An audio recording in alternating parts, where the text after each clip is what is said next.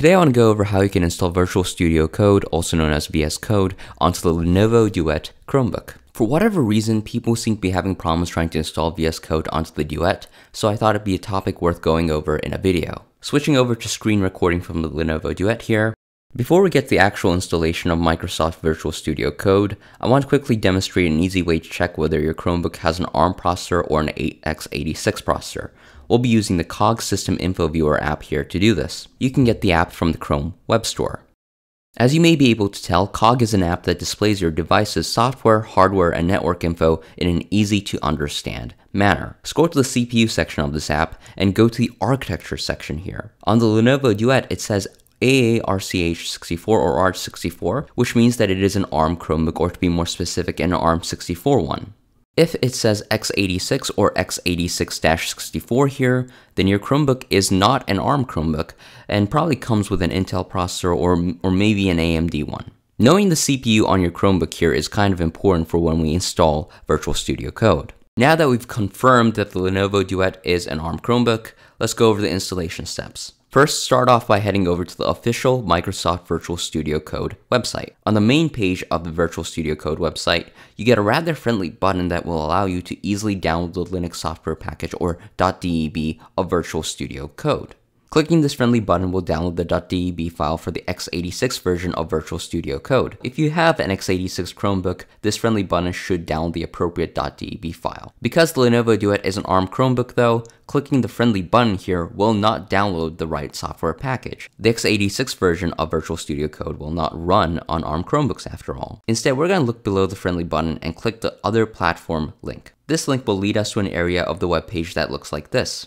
Click the ARM64 option for .deb files over here. Clicking this will download the .deb file for the ARM64 version of Virtual Studio Code.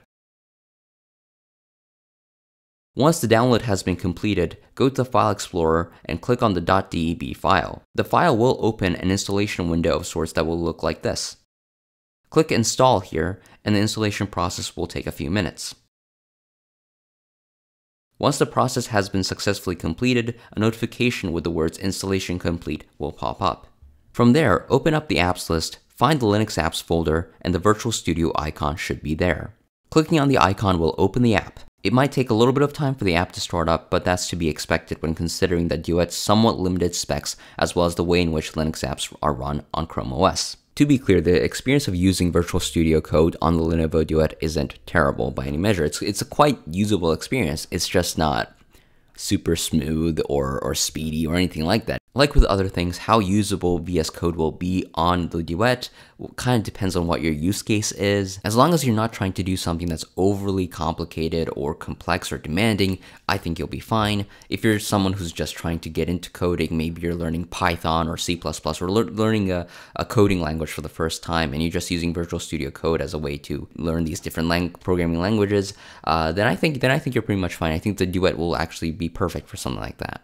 Anyway, that's how you install VS Code onto the Lenovo Duet Chromebook here.